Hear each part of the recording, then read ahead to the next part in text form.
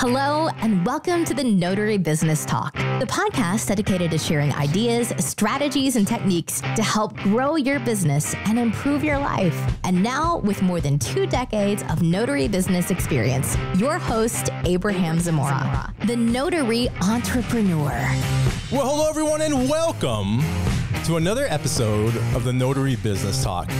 My name is Abraham Zamora, and I am the notary entrepreneur. And in this episode, we're going to discuss how notaries can profit from translation services. And it's a relatively, I would say, relatively new idea to the notary industry that's been getting some buzz lately. And I think a lot of it has to do to this guest that I have on the show today. He's been a big promoter and sort of pusher. He's been, been pushing the idea of having notaries sort of team up with translation companies to offer translation services to to notaries as another toolkit, another tool in their uh, the toolbox to be able to make more money and offer more value to their clients. So let me quickly introduce our guest for today. His name is Gabe Sturges, and he works with a company called Idiomatic, which is a translation company, among other things, that was founded back in 1996. And for the last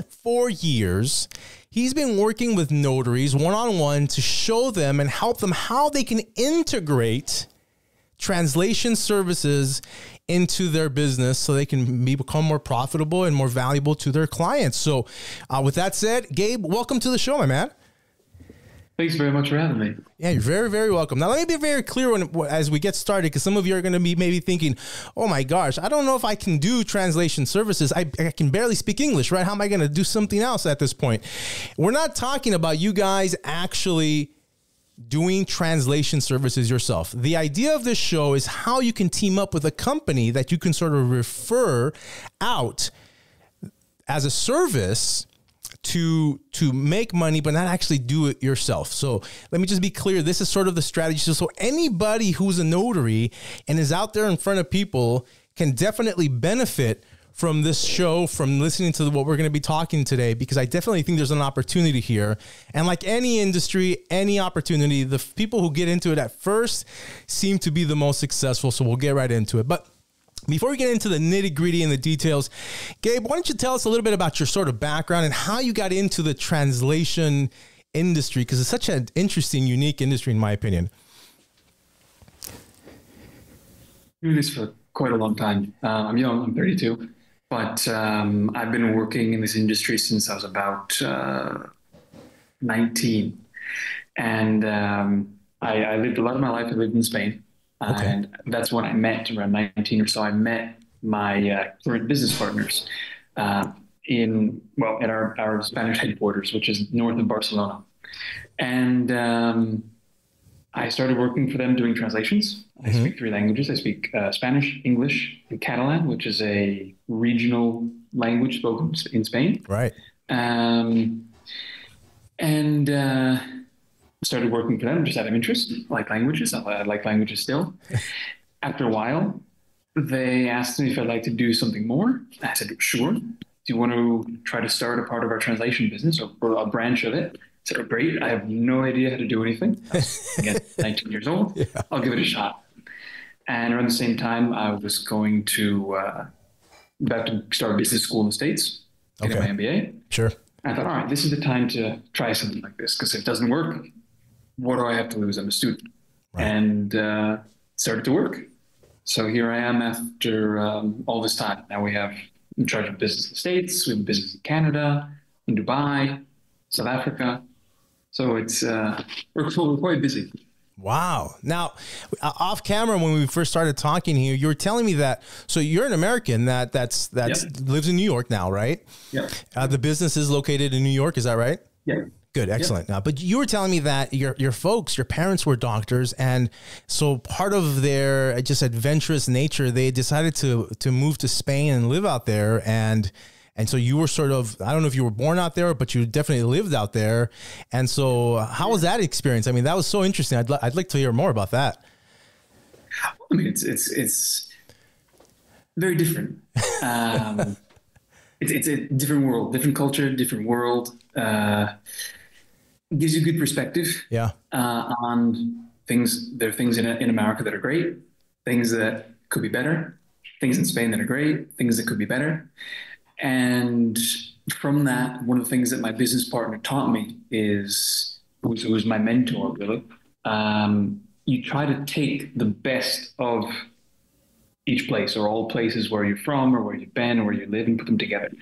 And that's that's really what I've applied to our business. Um, taking what I know and what I learned from working with different people, dealing with different types of people, Yeah. and it, I don't know. I think it adds, it enriches your life when you have when you can have that kind of contrasting experience. It makes it makes life have a different perspective.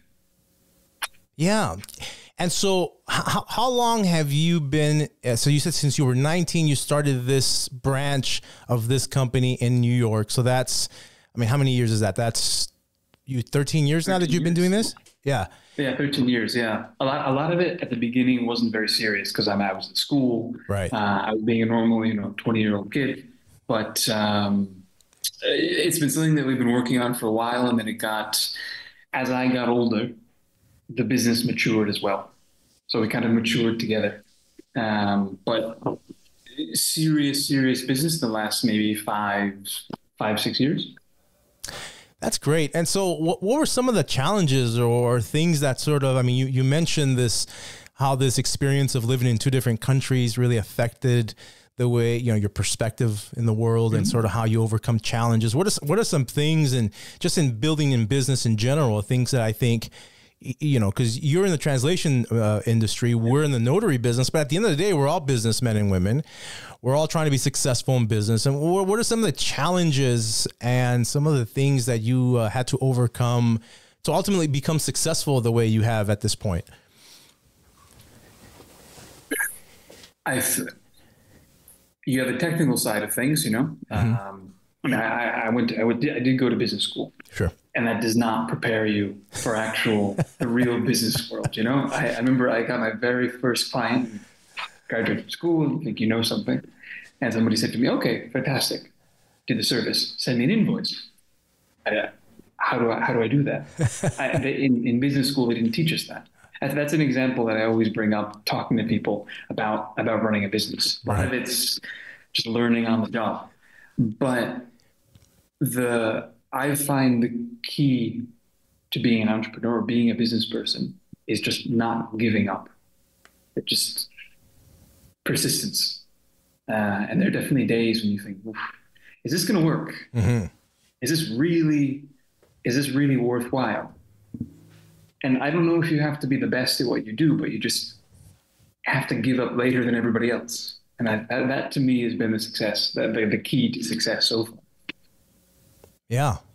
Yeah, and you seem very motivated, and I and I think part of it too is, is and we were, again we were talking off camera, and you, you seem like you had a very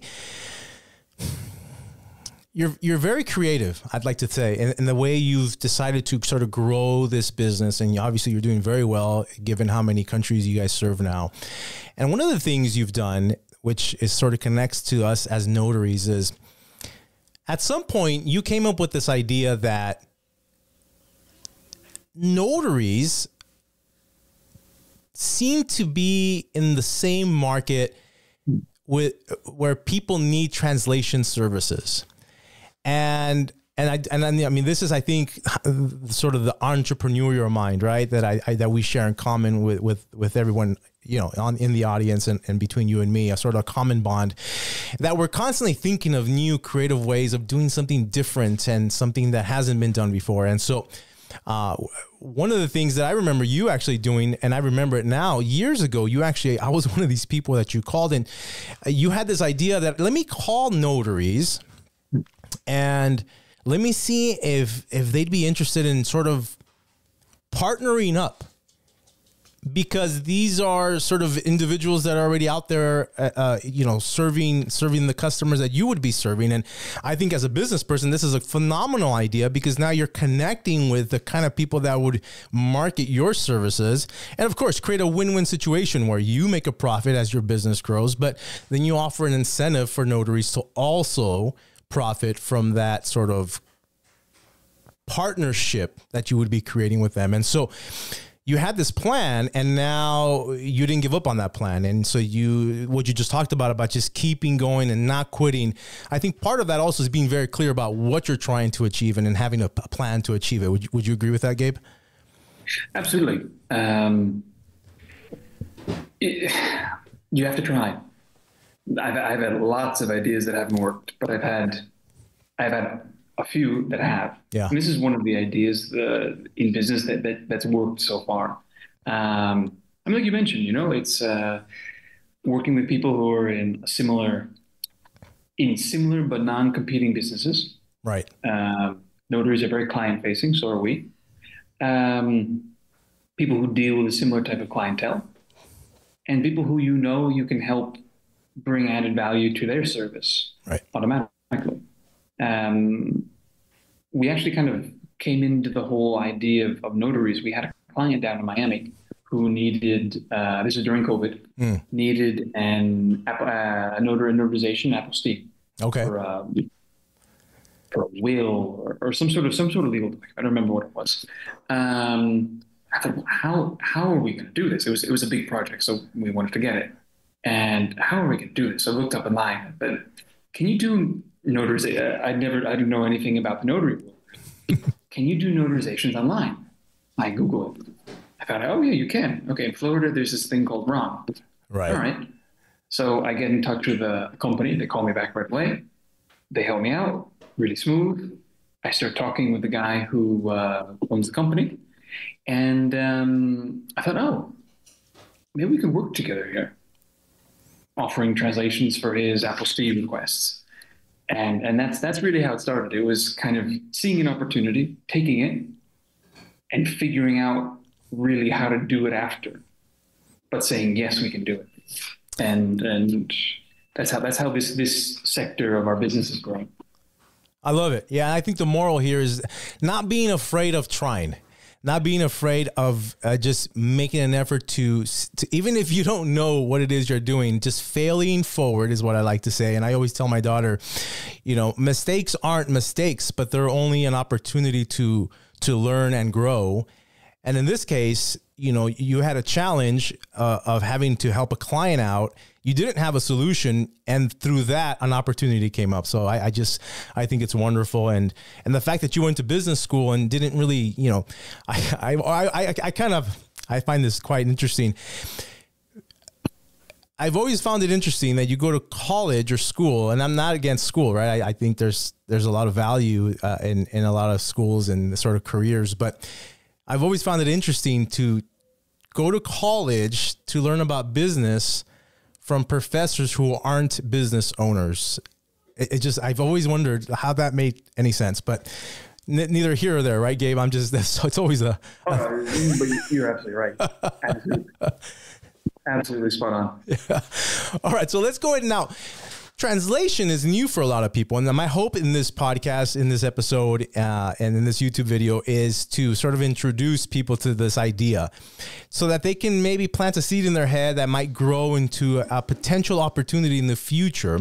Because this is not something that most people have really just thought about on their own. So hopefully through this episode, people will maybe get some ideas of how they can actually integrate that into their business. And so to do that, let's go ahead and get into sort of what is translation? And uh, i know you do a few other things but what what scenarios and if and more specifically what kind of scenarios with notaries do you think run in where a translation service would be required? Like for example what kind of documents or what kind of customers or what specific types of um, areas in business would would this apply and where we could pounce on an opportunity as notaries well,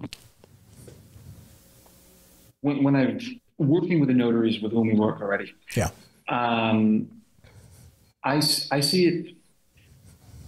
I, I would promote the service in two different ways. Okay. Or I see that it could be used for notaries in two different ways. One is as an addition to a service they already provide. So, for example, um, you do apostille work.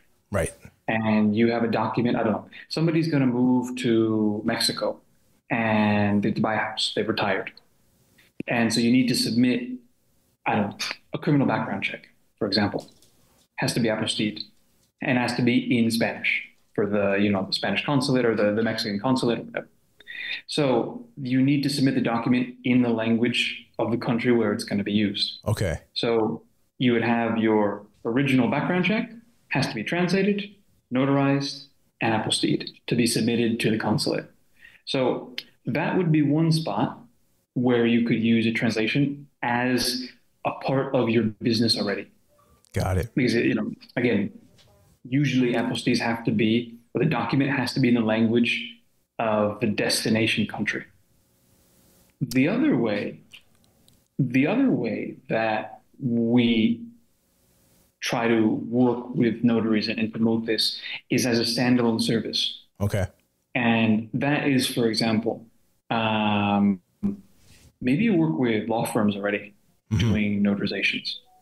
Well, maybe that law firm also does, maybe it has an immigration law department, or maybe it has a family law department. Maybe the people who, maybe there's a big, I don't know, Hispanic population, and they need translations of the documents for this law firm. For example, they're submitting paperwork. You could offer that. You could say, "Oh, we do our we do our notarization work, we do an apostille work.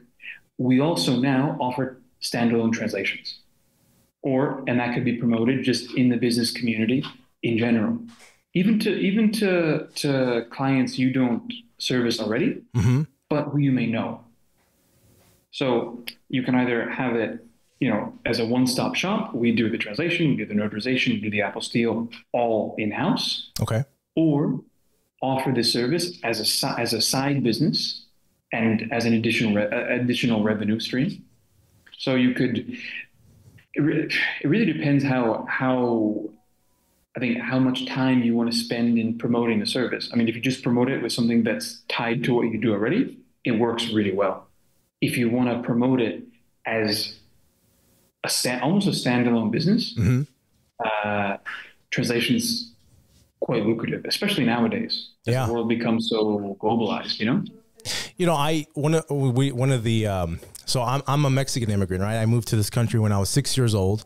Uh, didn't speak a lick of English, and I remember I would cry in school when I was taking tests because I didn't know what was on on the pages, right? I didn't know how to read and and, and uh, speak English, and so uh, so so we have a lot of family in Mexico, and we go back often. Uh, my wife's also from Mexico, and her family lives in Puerto Vallarta. So I don't know if you're familiar with Puerto Vallarta. But the cool thing, the interesting is that uh, thing that in Mexico, something interesting has happened that a lot of people are moving out to live out there, to particularly to retire, because, as you know, Gabe, it's it's a lot less expensive to to live in Mexico, right? Uh, one of our uh, one of our uh, cousins is a real estate agent. Right? He's from Colorado. Oh, so he married my wife's cousin. So he's an he's an American white guy from Colorado. He moved to Mexico for the same reason. He sold his business, moved to Mexico. He he became a real estate agent. The guy doesn't speak Spanish, Gabe. And we went to go visit him just a few months ago. I think back in November of last year. And and so we're asked we asked him, hey, uh, uh, you know, how, how's the Spanish going, coming along? And he says, you know, not very good. I have no one to practice with out here. and the guy's in Mexico. And so the, the point is that in, in this little town, Puerto Vallarta, it's become so popular with expats and Americans that uh, over 60% of the people that live in that in that city are Americans. Really? Yeah. Oh, wow. Yeah, and most people are are, are you know are, are from Canada or from America. And uh, and everybody speaks English. I mean, it's one of those things, right? And we're seeing this more and more and more. And so my friend, he's he's a, my cousin, my wife's cousin, is a real estate agent, but he services Americans that that want to move to the United Yeah. States, which just gave me an idea, Gabe. I I could probably have them talk to yeah that you know that might be something there i just realized that might be an idea to connect you guys with with uh, with him but my point is that yes so this example that you gave of somebody who wants to move to mexico right uh, they need so you're saying they need like a background check they get this background check they have to first get it uh, translated is that the thing then it gets Yeah. notarized by uh, I'm, still not sure about the how that works but i'm sure we can get into how what what gets notarized the actual certification or the actual The translated document oh i see. be notarized. I see. and then and then because that's what you'll need to get it to get the apostille for it. okay, So yes. you'll submit, you know, so the translation, notarization, apostille. So so so put let me just put this together, and this is this is going to be really mainly for people who offer RON remote online notarization, right? Because we're this is an opportunity for everyone in the country. But someone meets somebody who wants to move to Mexico, they they come to you, they find you online, they say, "Hey, I need these documents translated and notarized. Can you do that?" Well, most people, and I've had that question come up several times where they've asked me, "Do you translate?" And I've had to always say no because I, I don't, right? Mm-hmm. But someone gets asked that, and now you can say, "Yes, I do," and they would get the document translated. Then the person that so the notarization is the notarization of whoever's translating the document. Exactly. Yes. Okay. Exactly. So that would be you guys. So if if a notary partnered up with you, they gave you the business, they referred you. We'll talk about how you we would compensate notaries in a minute. But then you would also give them the opportunity to notarize that document. Is that right? Absolutely. What? So we try to. Well, well first, we always try to keep. So, uh, if a notary comes to us with a translation request, Uh-huh. uh, we need this document translated, and and we got and we have to get it notarized for RON with RON. So we always do the notarization with them. So we don't charge on us on our side. We don't charge for the, the notarization. Okay. We consider that kind of like a just kind of part of doing business. It's just kind of part of the partnership, you know. So we don't charge for that. So we only charge for the translation. Okay. The notary would charge their client for the notarization cost. Got it. So the only thing the notary would pay is is well uh, would pay us for the translation, or if they're you know if we partner, then um, There would be an affiliate really the only thing on their end would just be would just be invoicing their end client for the for the notarization and the translation. Got it. Okay. Right. So, and then that could be that that could d- vary in different ways, but that that would be logistical stuff. Yeah. Uh, and then after that, if the notary chooses to do the apostille, then they could also do that. Otherwise, you guys can do that if they don't. Is that correct? Yes. And um, I was going to mention just very briefly that in the states that don't do RON, so I know California, for example, you can't do RON. Right. Uh, South Carolina, I don't think you can do RON. Uh, we're big enough as a company that we can have people notarizing in the state.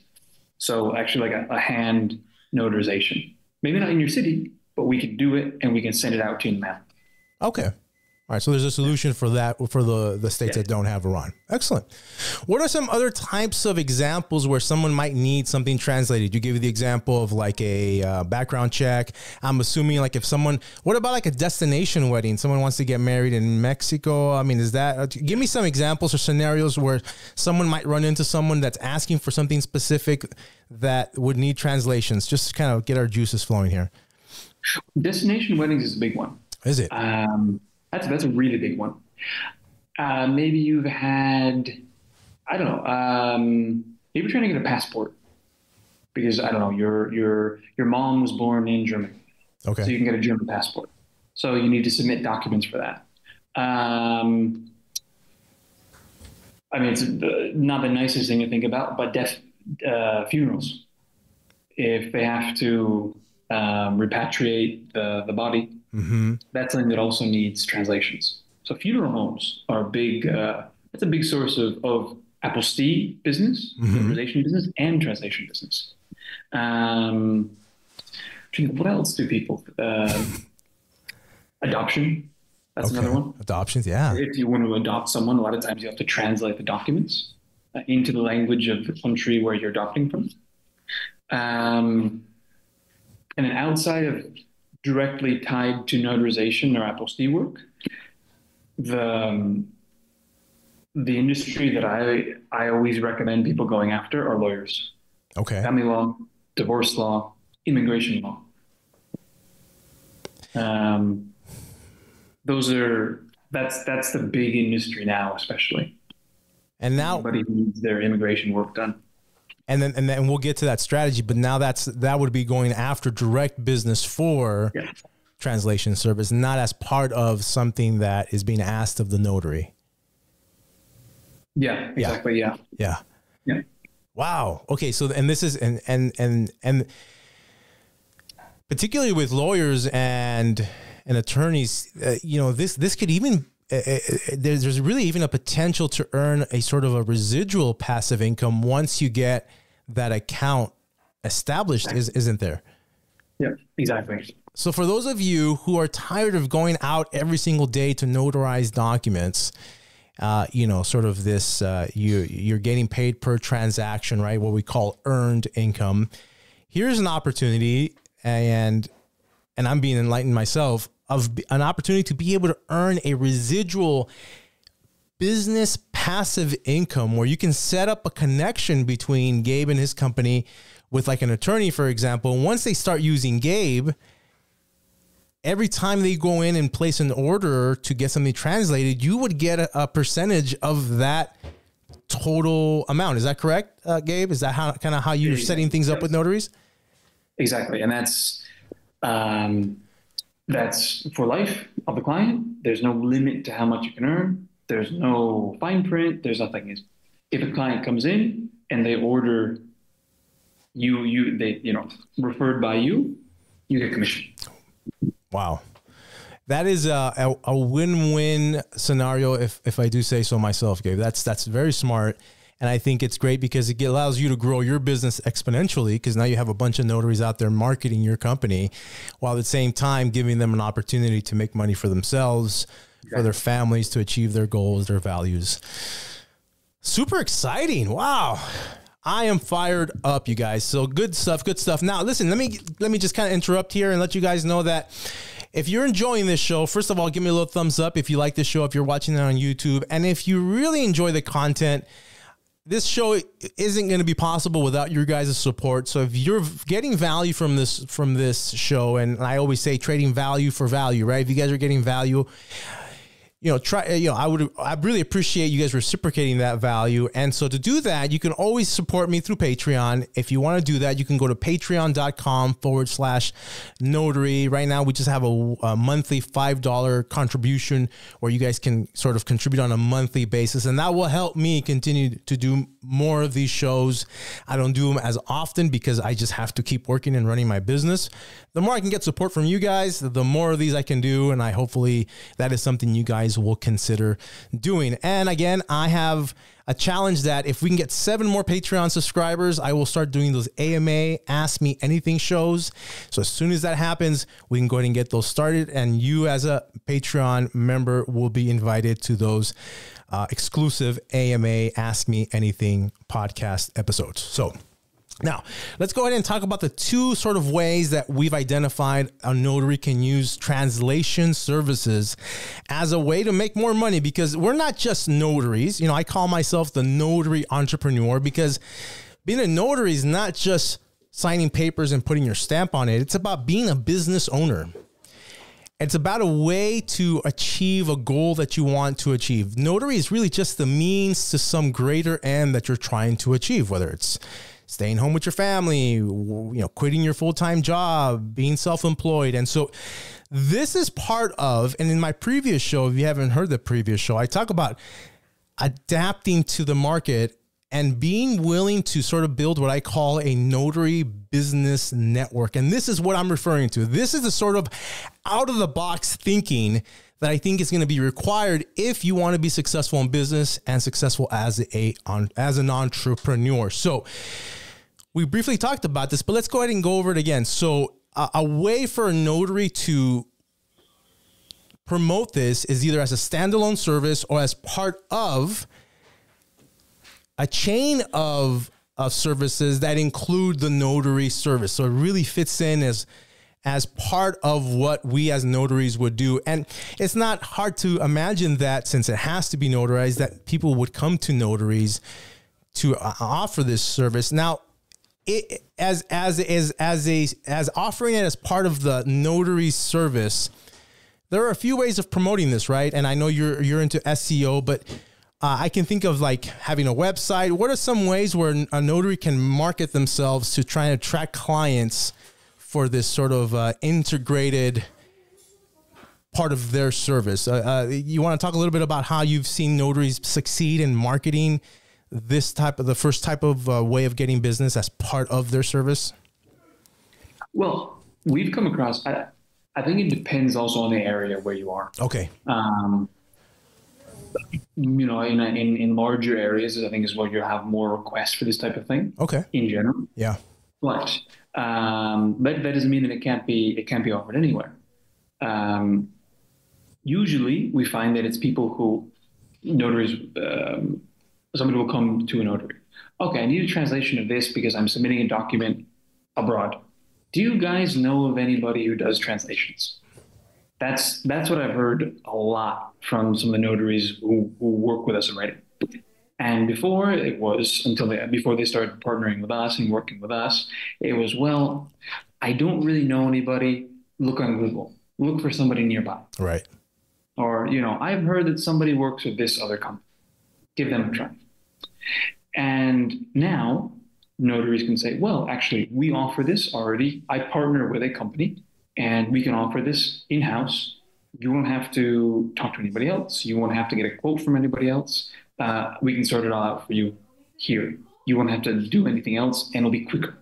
So I think, you know, the value there is trust, which is I mean, we've, we've been in business for almost 30 years. Right. Um, I think that speaks to our, our business, the quality of, of what we do. Mhm. So you have you, the notary, to their client can say, well, we can provide you a trustworthy service. You don't have to waste any time going out looking for quotes or trying to uh, figure out, oh, is this company good or not?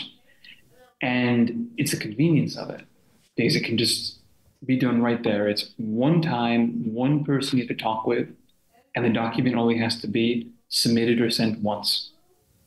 And that's that adds value because the more the more hoops you have to jump through, and the more uh, times you have to talk with different people, the more likely it is there's to be a mistake. Some. Yeah. So that's one way. Yeah.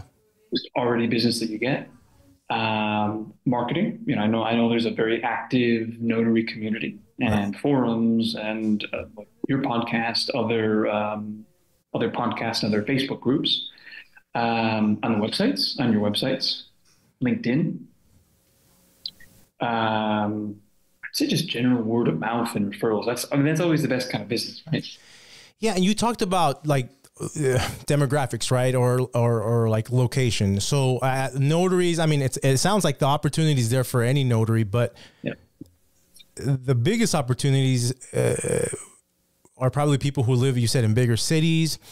Uh, have you have you noticed people who maybe are bilingual and are trying to get you know people who maybe speak Spanish, for example, have things translated into English, for example? Like, is there an advantage? Like, what kind of notaries and in what areas would you say the opportunity is greatest? It really depends. Any place that has a significant, that's, that's any place that's multicultural. Okay. Really. Yeah. Uh, I mean, you always think of what are the big places you think of? Um, California, Texas, uh, Florida. York, um, Florida, Yeah. uh, Illinois, Chicago, huge Right. multicultural population. New Jersey. Right. Um, I mean, nowadays it's really anywhere. it's really everywhere. Yeah. That's that's what that's that's one thing that's the beautiful thing about America. It's so multicultural and every it's so cohesive. right. Um, so you people you find people from anywhere. Right. Um, of course, if you're in a small area, maybe there's less people. That also means there's less competition. Absolutely. I was just going to say that. You know, you can play things. It's it doesn't always have to be a disadvantage that there aren't tons of people around. What? How many different languages do you guys translate in? We do over a hundred. Wow. Um, yeah, so so we can uh, pretty much any request you have, we can we can take care of. You also said you also said you guys offer translation services. You also offer apostille services. What was the other thing you said you guys offer? Um, translation or something? Uh, so we do um, translation. So Okay. that's written documents. Yeah, We do interpretation services. interpretation. That's spoken. Uh, we do localization, which is um, adapting adapting content for for local markets, like you know um, online advertising, that kind of thing. Got it. Um, we do. We have a side business where we do SEO services and website hosting that type of thing. So we do, Okay. we, do we have our fingers in lots of different pies. But um, just to quickly mention it, for interpretations as well, there's a, it depends on the state. Okay. So some some states, from what I understand, in the notary bylaws or statutes, um, they forbid notaries using a liaison, using an interpreter if the, the signer doesn't speak English. Correct. Other states, Florida, for example, is one that allows you to do it. Um, you can have an interpreter uh, acting between the notary and the signee. Wow. So another service we offer, which also um, is part of our like partnership with notaries, if you have someone who needs, to, actually today on Sunday, we had a request from a notary for a Macedonian interpreter. So from Macedonia, because they had a signee who didn't speak English, who spoke only Macedonian. So got online, video conversation, and they they sorted it out. They sorted out the signing. So that, that's another one of those things you don't really think of, but it's a big opportunity. Wow. Yeah, you're right. I mean, to be able to not lose out on business because now you can find yourself an interpreter to be able to communicate with that client. Yeah. Especially if it's a big file or there's a lot of things that have to be notarized. Very interesting. Good stuff. Okay, now let's talk about uh, uh, the conversation that someone would have if they're trying to say specifically target a market to promote translation as a side passive income business, right? And you you gave us examples of like attorneys and maybe funeral homes or yeah, I mean I'm not sure what other examples, but who would people who if if if a notary said, "Okay, I want to I really like this opportunity. I don't want to be passive about it where I'm waiting for someone to ask me, but I want to go out there and actually maybe promote this your your guys' company and then get paid every time this mm-hmm. service is used." Who could notaries go visit like like for example uh, attorneys and if there are other examples i would like to hear them and then how would that conversation go uh, gabe So again, the the lowest hanging fruit are our notaries, or sorry, our uh, our lawyers and attorneys. okay Lowest hanging fruit, absolutely. Uh, the you know that there's a need for it. Um, it's B two B, which is great because if you get one client, they bring you multiple clients. Right. So every time that's multiple transactions, right? But for you get multiple transactions for you finding one client right um, and it's steady work. So I anyone who's trying to get into selling translations, that's the side that I would focus on. Uh, not that it really matters for the person trying to offer the service, but also it's usually pretty standardized stuff. They're, they're not going to ask for unusual things. It's pretty cut and dry. right Uh, schools are a big one. Um, most schools, well, as far as I know, all school districts in the U.S. have to, uh, for like inclusivity, mm-hmm. have to offer uh, all the all the documents that get home to the parents or the paperwork. They have to offer in the language that the student or the parents speak. For example, right um, hospitals, Okay. healthcare clinics. Those are big ones as well. And also that that that can be uh, you can parlay that into doing notarization work because I'm sure that hospitals need a lot of uh, need need uh, legalized documents. I'm sure. yeah Um, those that would those are the big industries that I would focus on. If you were going to go talk to somebody, actually go out and pursue it. Well yeah and, and you mentioned i mean that that's a great that's a great opportunity because it, you're you're not just showing up as the translation guy you're also showing up as the, as the notary guy and so you're coming in with with an opportunity to get both sides of the business uh, if, if that's correct yeah Exactly. Yeah. And so that's, I, I always see businesses as active and passive. So the active side is you going out and getting people. right And the passive side, which, which does have an active component to it, is your website. That is, I mean, nowadays in 2024, the web is one of the best ways to get clients. So I would say, in addition to actively going out and talking to people, it's really building up your website, really making sure that you have a good presence online, really making sure that people can find your website for, well, primarily for your notary services right or your apostille services, but also for translation service in my city. Right. You want your page to be up there. And this is now now we're getting into we, we won't get into it today. That's a different episode, of course. But now we're talking about SEO, search engine optimization, having a Google My Business page up, and a Yelp, and backlinks, and just being able to be the guy that when someone types in I need a translator translation service in my area that you pop up and they give you a call, right? So we're talking about that local sort of uh, local SEO marketing uh, strategy. Uh, now this is a question, and, and I hope I don't throw you off guard here. But what? How is this? You know, I mean, we we we're, we're here about AI and artificial intelligence. How how is that going to impact your your business? Uh, I assume that with the stuff that has to be certified, like notarized and stuff like that, won't really be a, a an issue. But uh, as AI becomes more prevalent, like in schools and stuff, do you see that as um, a threat to your business, or or or vice versa? Is that something that can actually enhance what you do? I think it's I think it's like a calculator. Okay. You know, a calculator a calculator doesn't put an accountant out of business. A calculator helps an accountant do his work yeah. better. And an AI, I mean, AI is real. You know, it does it's good. You yeah. You can't deny that it's really good. And for languages and translation, it's good. Um, I see it as a helper. Yeah. So it lets us do it'll it'll get rid of low level work because if, if you need before you know 10 years ago 15 years ago you had an email that you needed you got from i don't know a company based in wherever and you needed that translated into english. You would send it to a company. Right. That doesn't happen anymore because you have Google translate you have chatgpt you have gemini you have all these ai models right? Language models. Right. Um, for us, we see it as it'll help us do more work with a better quality and more quickly. Right. So we can actually benefit the client more. And if you provide a better quality product more quickly, and you can do it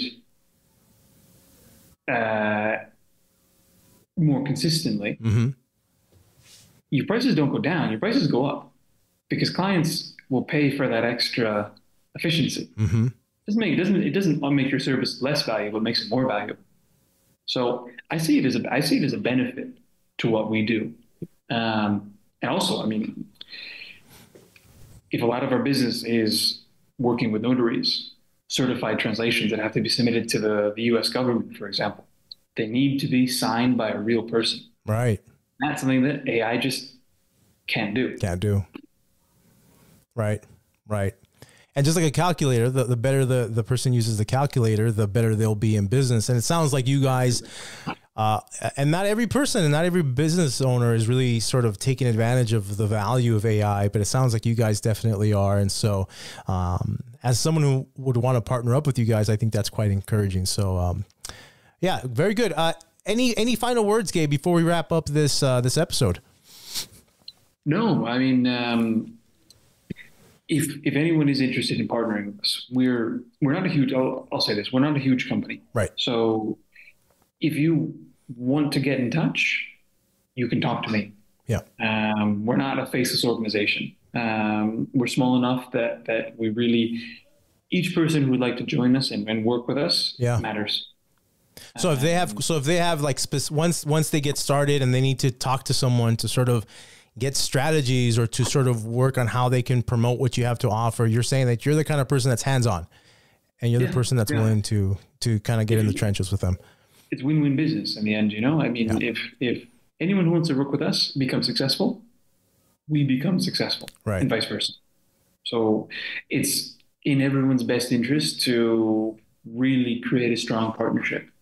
Yeah, I love that. And so I, and just so you guys are clear, so now if, if this is something that piques your interest, guys, if this is something that you say, you know, I'd like to get more information about it, I'd like to learn more about this, I, would like to know how this is part of uh, what what what Abraham, the notary entrepreneur, is talking about as being part of a notary business network, and how that can be integrated into your business. I think there's two ways we can definitely uh, go about this if this is something that you're interested in. The first way is to uh, just submit an, a request of interest to, to Gabe and his company. I'll go ahead and include a link to to uh, to to communicate with him in the show notes in the uh, uh, in this video or podcast, if depending on where you're listening, for you to be able to submit a request. Now this is not something that's automatic. Gabe does have a few things that he asks about and sort of wants to know about you as a notary. So, you know, there are no guarantees that he will work with just everybody. He does want to make sure that